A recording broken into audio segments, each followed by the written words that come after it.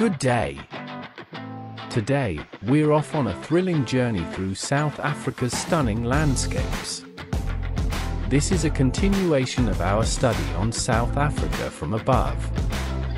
Check out the link below for our first discussion on important landscapes in South Africa. From vast grasslands to dense jungles and rugged mountains, each stop promises excitement and wonder. Get ready to learn more about the Highveld, the Lowveld, and the rugged beauty of the Karoo. Then, we'll venture into the Kalahari Desert before ending our adventure amidst Namaqualand's vibrant flowers. Are you ready? Let's uncover the magic of South Africa together. At the end of our videos, we have some questions for you to try out. You can test yourself with these before we show you the answers. It's a fun way to see how well you understand the topic. Practicing with these questions not only helps you grasp the material better but also boosts your confidence and performance when facing tests and exams. Regions in South Africa are separated by their distinct geographical features, such as elevation, climate, and natural vegetation. The Little Karoo is a region in the Western Cape province of South Africa. It is also known as the Klein Karoo or the Southern Karoo. The Little Karoo is located between the Langeberg Mountains and the Outeniqua Mountains in the south and the Swartberg Mountains in the north. The Little Karoo is separated from the Great Karoo by the Swartberg mountain range. It lies in a 300 kilometers long and 50 kilometers wide valley in the Cape Fold Mountains, with the Swartberg Range to the north and the Langeberg Outeniqua Range to the south. The Little Karoo has a semi-desert climate. Summers are usually hot and dry. In winter the days often are warm, but the nights can be quite cold. It is as arid as the Great Karoo, except along the foothills of the Swartberg, which are well watered by streams that cascade down the mountains.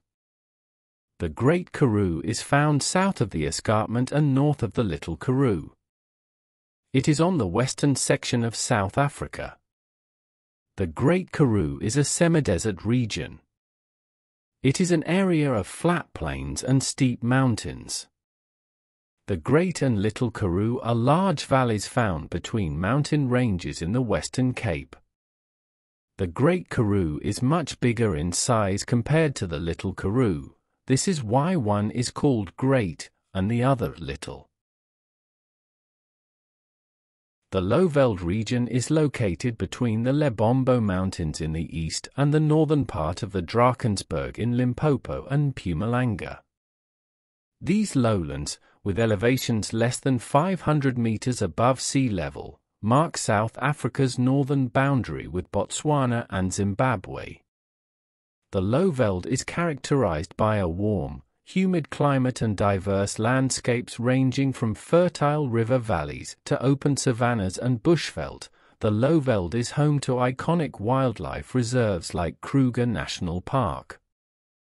Its fertile soils support agriculture. The Lowveld is susceptible to occasional flooding during the rainy season as it is near major rivers such as the Limpopo and the Sabie. The Highveld is located on a high plateau inland of South Africa. The Highveld is a high-lying area over 1,600 meters high. It is found mostly in the Free State, Gauteng, Mpumalanga, and the eastern part of the North-West Province. Johannesburg, the largest city in South Africa, is found there. The Highveld covers about 30% of South Africa's land area. The Highveld is the wettest and most fertile portion of the plateau. The Highveld occupies the central eastern portion of the plateau. It is generally between 1,500 and 2,100 meters above sea level and highest on the edge of the escarpment to the east on the Drakensberg and sloping downwards to the south and west. The Kalahari is located in Botswana, Namibia and South Africa.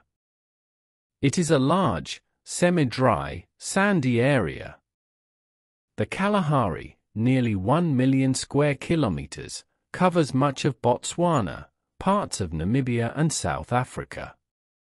It is a semi-desert, with large amounts of excellent grazing after good rains.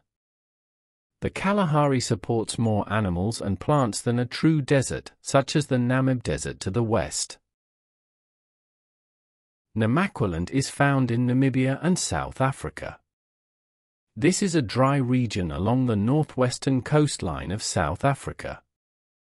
It is divided by the Orange River into Little Namaqualand in the south and the Great Namaqualand in the north. Namaqualand is famous during spring, around September, when the area is covered with colorful wild flowers. Before we conclude, please try to answer the following questions before the answers pop up. You can pause the video as you go. Let's meet again as we discuss further on mountains, mountain ranges, valleys and hills, rivers, waterfalls, coastlines including capes and bays in South Africa. You can check out the link below for more on this. Please remember to subscribe so that you do not miss our weekly uploads. Otherwise, thank you for watching and enjoy the rest of your day.